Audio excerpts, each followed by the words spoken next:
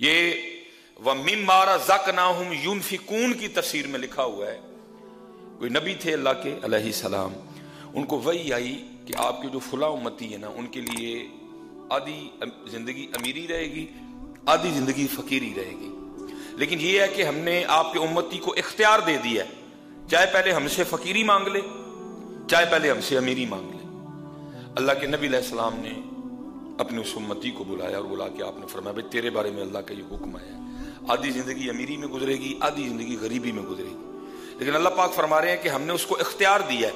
चाहे पहले मुझसे गरीबी मांग ले, चाहे पहले मुझसे अमीरी मांग ले। और आगे सिर्फ़ करता अल्लाह के नबी सलाम, अगर आप इजाज़त दें तो मैं मशवरा कर लूँ किसी से? फरमा कर ले।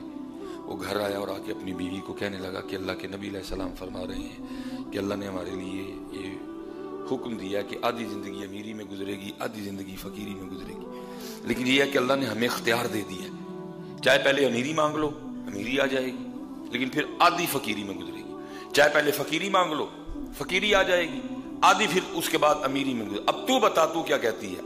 अमीरी मांगू या फकीरी मांगू? उसने कहा, तू क्या कहता है?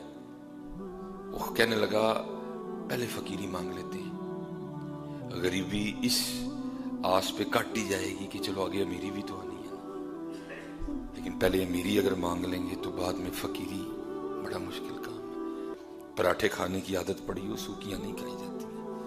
उसने कहा, नहीं तो अल्लाह के नबी इस्लाम की बारगाह में जाके अर्ज़ कर कि अल्लाह के नबी हमारे लिए दुआ फरमा दें कि पहले अमीरी। उसने कहा, अल्लाह की बंदी बड़ा मुश्किल है। अमीरी के बाद फकीरी देखना। पराठे खाने की आदत पड़ी हो चोपड़ियाँ खाने की आदत पड़ी हो कहाँ से सूखियाँ खाई जाएँगी? नहीं, मुश्किल है। उसने कहा, नहीं, तू तू दुआ, जा। वो गया अल्लाह के नबी इस्लाम की बारगाह में, जाके अर्ज़ की, अल्लाह की बारगाह में हमारे लिए दुआ कर दे कि पहले अमीरी। बस फिर अमीरी। अब देखे ना हज़रत, ये जो सामने आप बेल देख रहे हैं, इस पे कोई पता नहीं है। लेकिन हज़रत, जब उस गार्डर आना है ना तो आपको समझ नहीं आनी इस बेल ने कैसे पत्तों से भर जाना हज़रत, है। कोई मजदूर नहीं आएगा पत्ते लगाने। कोई फैक्ट्री की गाड़ी नहीं आएगी। कोई इसको आके पहले इंजीनियर चेक नहीं करेगा। कुछ भी नहीं होगा। कोई सीढ़ी नहीं लगेगी। कुछ भी नहीं होगा। बस क्या होगा? इन्नमा अमरूहु इजारा शैया कुन फयकून। ये इन, ये ये जो आप बेल बायर देख रहे हैं ना, बिल्कुल इस पे कोई पत्ता नहीं है। अगर जो थोड़े बहुत हैं, वो भी जर्द हो चुके हैं। कोई सब्ज पत्ता नहीं है जर्द है सारे के। ये पत्ते किसी फैक्ट्री में नहीं बन रहे।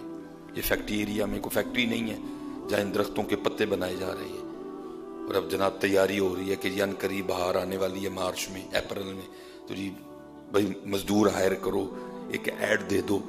भाई, अरबों की तादाद में दरख्त हैं, बंदे दरकार हैं, पत्ते लगाने हैं उनको। कुछ भी नहीं होगा। क्या होगा? इन्नमा अमरूहु इजारा कुन फयकुन।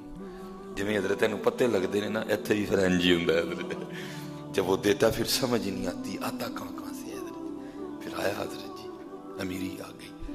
उस बीवी ने, जिसने मशवरा दिया था कि पहले अमीरी मांग, उसने कहा तो अगर चाहता है ना कि तेरी अमीरी कायम रहे तो फिर एक काम करना। अगर एक चादर अपने लिए खरीदे ना तो किसी गरीब के लिए भी खरीदना। है अगर कोई जोड़ा अपने लिए खरीदे ना तो किसी गरीब के लिए भी खरीदना। जो अपने घर में पकाए उसमें से किसी गरीब को भी हिस्सा देना। तेरी अमीरी को कुछ भी नहीं होगा। अल्लाह के नबी सलाम का गुजर हुआ। देखते क्या है रेल पेल है जी। लेकिन वक्त जो है ना वो फकीरी का शुरू हो चुका है। अल्लाह के नबी इस्लाम ने उस, उस बंदे को बुलवाया। आपने फरमाया तेरा फकीरी का वक्त शुरू हो चुका है। लेकिन यहाँ तो रेल फेल ये क्या वजह है? वो आगे सर्च करता अल्लाह के नबी बस इतना किया, जो अपने लिए खरीदा ना, वो किसी गरीब के लिए भी खरीदा है। जो खुद खाया, वो किसी गरीब को भी खिलाया। आपने बस फरमा, आपने फरमाया, बस, ये तेरी सखावत की बरकत है कि फकत तो तेरी फकीरी का शुरू हो चुका है, लेकिन अब भी तेरी अमीरी चल रही है